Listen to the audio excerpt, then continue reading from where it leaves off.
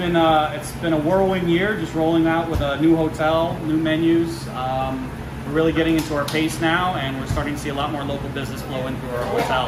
And we wanted people to know that it's a lot more than just um, Mexican food. It's very approachable. It's comfortable. Um, we do a lot of uh, taking certain flavors and profiles and trying to pull that through our menu, and so people are comfortable with it.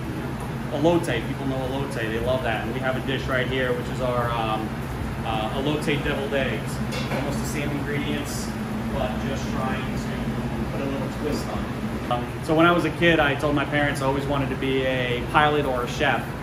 And then, uh, you know, growing up, going through school, I kind of went into a different direction and then decided to come back to cooking.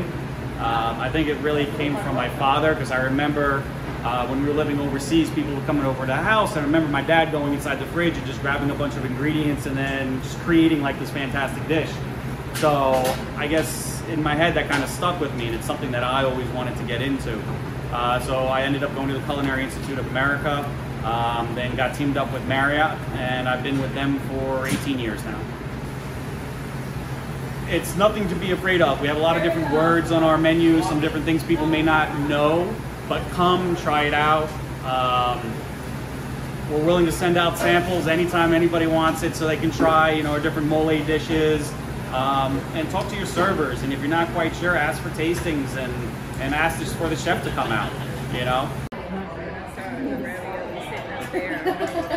Just save me some. Okay.